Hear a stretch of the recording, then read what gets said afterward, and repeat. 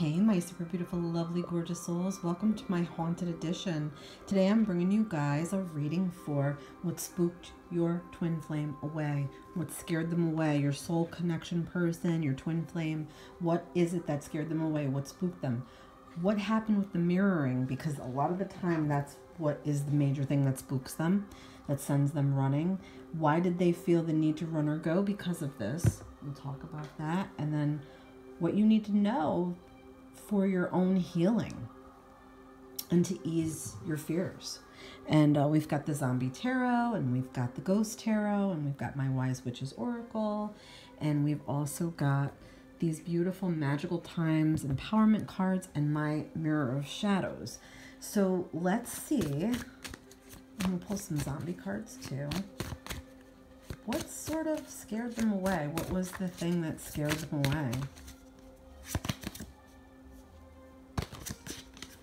Oh, we got a jumpers. Okay. Well, I feel like there was some more lessons that they needed to learn, definitely. Some more life lessons. I feel like they were not being equal with you and not being balanced with you. They didn't have equal in their own life, so it's like they had to go learn about it. Like they have to go learn about it. I also feel like they were not truthful with you and that, you know, telling the truth may have scared them away actually coming out with the truth, coming clean was something that I feel like they could not do. And I feel like for them, they used this as their crutch and it's easier to run. But they're learning major lessons out there in the world. I also feel like karmics have to sort of be had.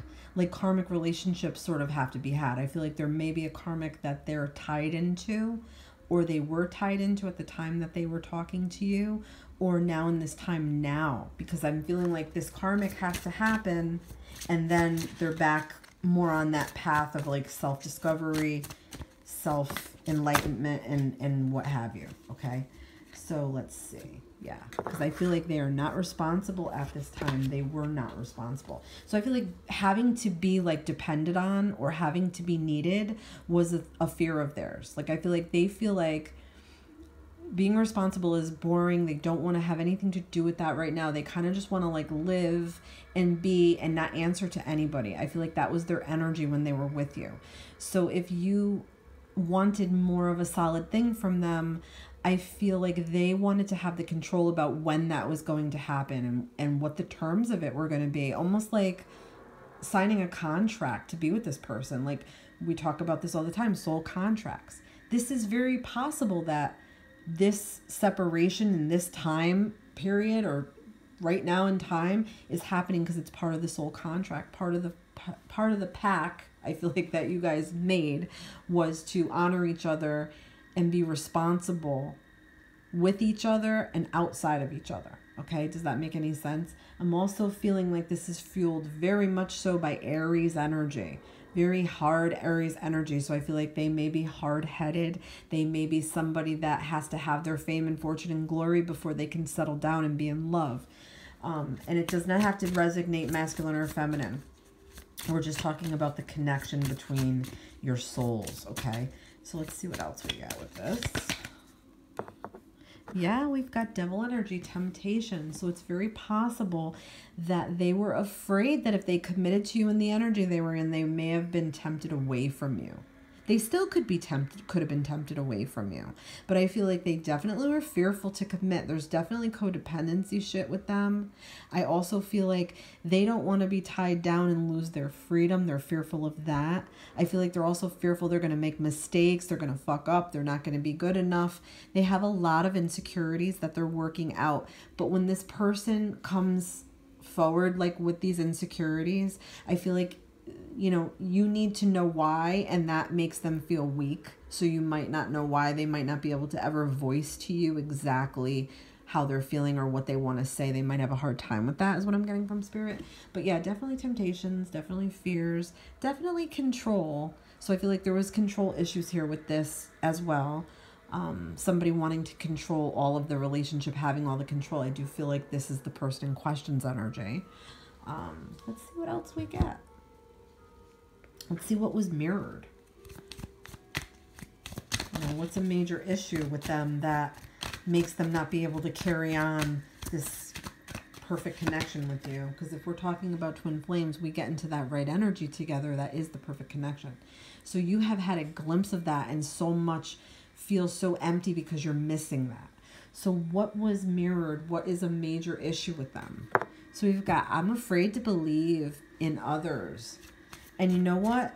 That fear of trust goes way beyond relationships. This could be with everybody friends, family. So just know that they're struggling with this, and they were definitely struggling with it while they were with you and the energy you guys were in. They definitely were struggling with this. They're still struggling with it. Inner child work. So they've got some inner child wounds. So this could stem back very far for them. And we've got this helplessness feeling. I never learned to be self sufficient.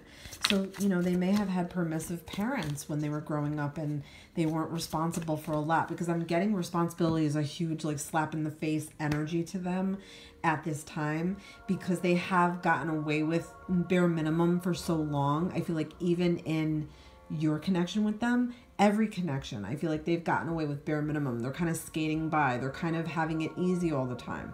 So not having it easy is really making them crazy. And they're needing to learn this so badly. So when we look at these, these are the lessons that need to be learned real badly here, okay? Before they can come back to you. That's really what it is. And we don't know how long that's going to take, you know? It could take however long they've decided in their contract with you or with someone else. How long? That's kind of it's kind of like one person learns a lesson in a day, another person takes them a lifetime, you know? Yeah, and you also want to be careful of manipulation with this person. They may blind you in ways that you have never really understood, but you might be starting to understand that now. They might be have they might have been in an energy where they felt like they needed to